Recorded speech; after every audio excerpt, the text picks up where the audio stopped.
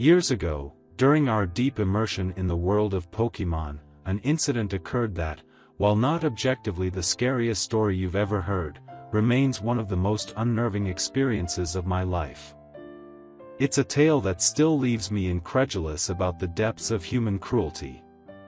At the time, our passion for Pokemon, particularly the games, knew no bounds. We played competitively, and the newly released Pokemon Sun and Moon had us captivated. When we got wind of a gaming event coming to our hometown, featuring Sun and Moon and rumors of a competitive battle tournament, we couldn't resist the lure of the opportunity. As the event date approached, our excitement reached a fever pitch. We held tickets in hand, dreams of victory in our hearts.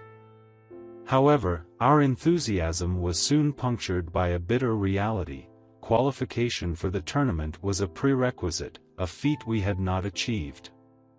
Yet, undeterred, we resolved to attend. The event itself unfolded as a whirlwind of joy. We spent the day snapping pictures, forging bonds with fellow Pokemon enthusiasts, and watching electrifying battles in the bustling convention hall.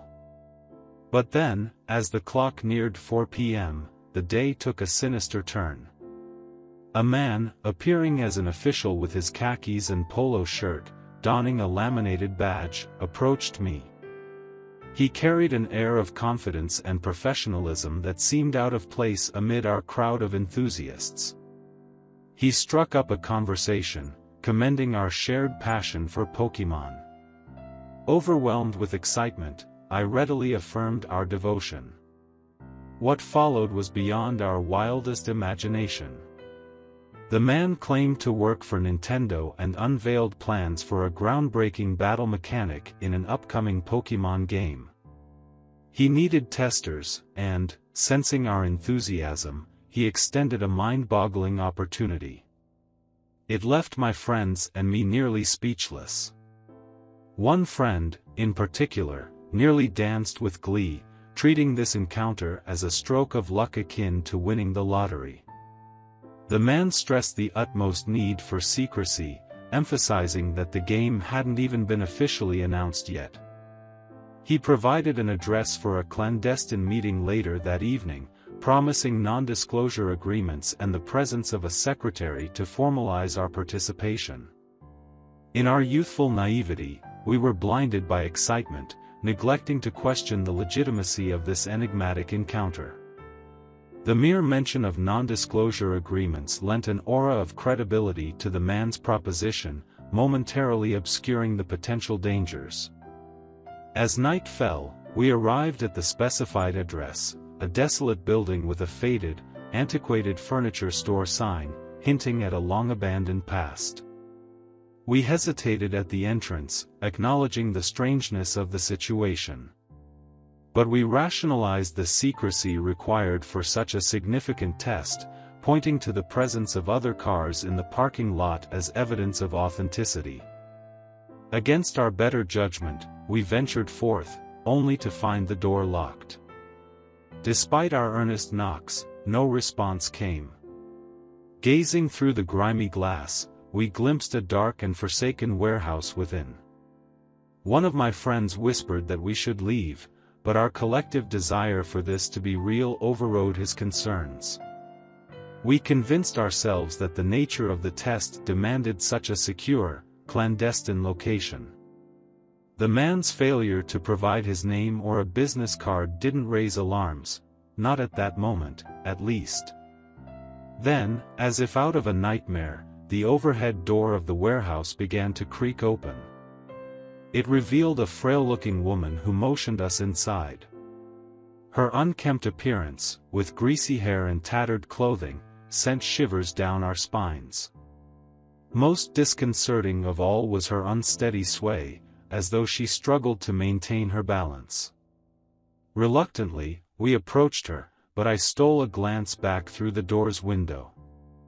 In the eerie glow of a nearby streetlight, I spotted two shadowy figures crouched beside the overhead door, individuals who had been concealed earlier but were now brought into stark relief. Without uttering a word, I signaled to my friends that we needed to escape immediately. Pretending we had forgotten something in the car, we retraced our steps. The woman's attempts at communication were a jumble of incomprehensible sounds. As we neared our vehicle, the sound of multiple footsteps echoed behind us. Swinging around, we saw the woman flanked by two others, rapidly closing the distance. Panic seized us, and we sped away, driving for hours to ensure we weren't pursued. We reported the unsettling incident to the police, but by the time they arrived, the warehouse had been abandoned. Since we hadn't suffered physical harm, they couldn't take further action. The mystery of what these people intended haunted me for a long time. It was a while ago when I was just a kid, maybe around 10 or 11 years old, and my brother, Alex, was a couple of years younger.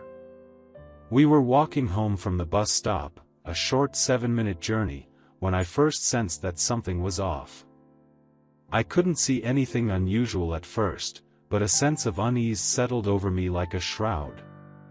My brother and I were the only ones who got off at our stop, and the quietness of the empty street added to the growing tension. As we walked, a beat-up blue and silver truck passed us by without slowing down or stopping. I dismissed it at first, but an unsettling feeling lingered. Alex and I held hands, as our grandmother had always instructed us to do. She constantly reminded me to protect him, my baby brother. For a while, nothing happened. We continued walking, but then, the same truck appeared again, this time approaching us from the opposite direction. It was moving slowly, and my instincts kicked in, telling me we had to run, there was no other choice if we wanted to stay safe. I couldn't explain how I knew, but I did. As we neared a three-way intersection connecting the cul-de-sac road to another side road off the main one, I glanced back and saw the truck creeping towards us. Panic surged within me, and I knew we had to act fast. Passing a house that concealed us from view, I turned to Alex and uttered four words with urgency, no questions, just run. And run we did. Our driveway was about a hundred feet long, lined with bushes and pine trees that separated our home from the neighbors. I pulled Alex into the bushes and whispered for him to stay quiet, promising to explain later. He trembled with fear, tears in his eyes. We watched as the same truck circled the cul-de-sac again before finally coming to a halt right in front of our house. I had to stifle Alex's sobs, fearing that whoever was following us would hear and harm us. I was more concerned for him than myself, as the big sister, it was my responsibility to protect him. The man from the truck, tall, skinny, and disheveled, emerged. His short hair was concealed by a torn baseball cap, and he wore ripped jean shorts and a grimy, green tank top. He entered our yard and scanned the surroundings. Alex and I remained hidden, strategizing how to reach our house safely without alerting the intruder. After an agonizing eternity, the man left, got into his truck, and drove away slowly. We waited a few more minutes to ensure he was gone before I turned to my brother. We need to run, I whispered urgently, on the count of three, we'll head behind that house to the back door, okay? Alex nodded, his eyes filled with fear.